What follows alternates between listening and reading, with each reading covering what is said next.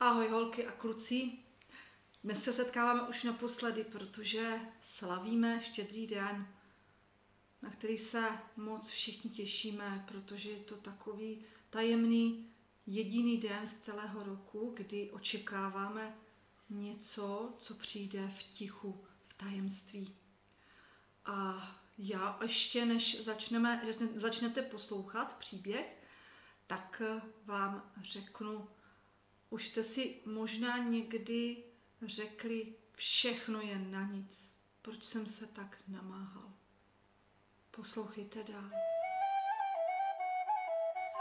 Teď by měl být šnek konečně u cíle. Místo toho ale celý den bloudil betlémskými ulicemi. Nevěděl, kde to dítě hledat. Po několika hodinách ztratil orientaci. Jeden dům vypadal jako druhý, Jedna ulice byla stejná jako druhá. Nakonec vůbec nevěděl, kde je. Blížil se večer, zmrákalo se a v oknech se rozsvícela světla. Jestli dnes ta hvězda nevíde, určitě jsem zabloudil. Pomyslel si Šnek.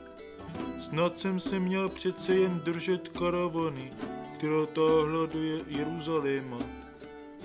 Ale hvězda vyšla. Rozzářila se přímo nad, nad ním. Zahnala temnotu a Šnek poznal, že je u cíle. Uviděl stáj, muže a ženu. Uviděl i dítě a kolem něj i všechny ostatní. Velka, loupežníka, paní, chromého muže, šaška, pastýře, ovcí. Všichni tu byli, jen housenka ne. Možná ještě seděla na své hlávce zelí. Když Šnek uviděl dítě, ulekl se. Vypadalo tak bezmocně.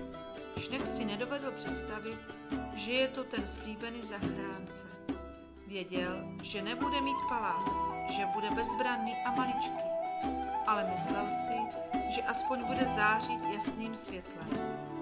A tady ležel obyčejný kojenec, jaký je na světě tisíce.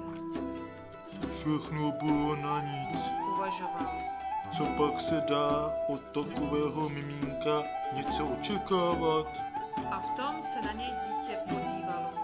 Mezi všemi lidmi si ho pohledem našlo.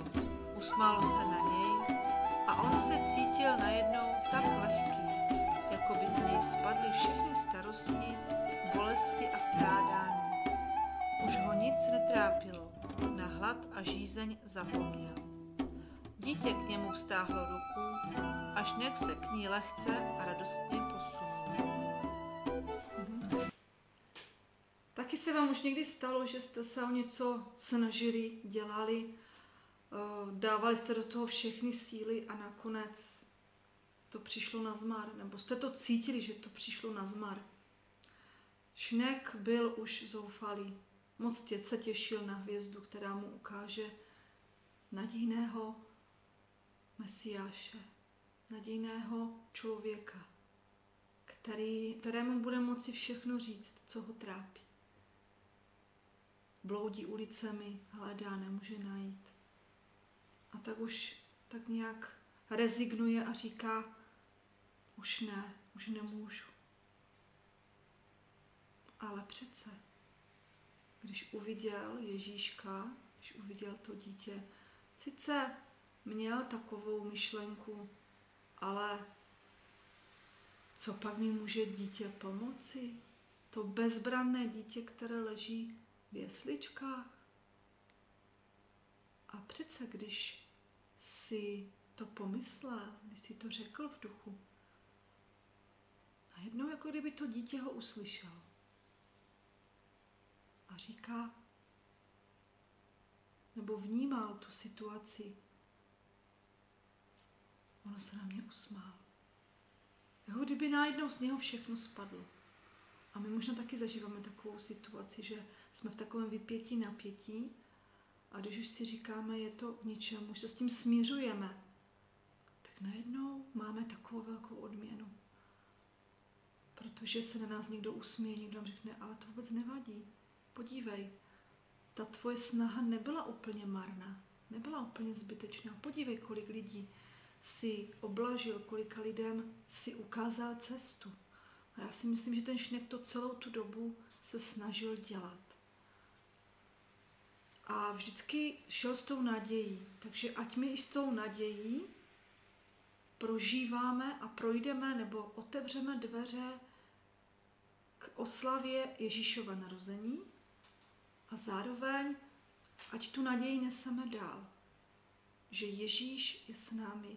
I když se nám to někdy zdá, jako kdyby jsme byli, dělali to všechno zbytečně. Takže já vám přeji, aby, abyste ty Vánoce prožili opravdu rodinně, tak nějak mezi lidma. Ono nezáleží, jestli bude horda cukroví, jestli bude všechno na stole, jestli bude stromeček, jestli budou dárky. Ano, to jsou všechno věci, které potěší, které patří k té atmosféře, ale důležité bude, abyste si to prožili mezi sebou. Takže takový úkol, ono už to možná úkol není, protože to je takový úkol do dalšího života. Snažíme se opravdu těmi Vánocemi něco v životě změnit, alespoň něco maličko. A uvidíme, že když se to budeme snažit i to maličko, tak se nám to určitě promění alespoň v malou odměnu, jako je úsměv nebo hezké slovo. Takže klidné a požehnané Vánoce a snad někdy zase na viděnou.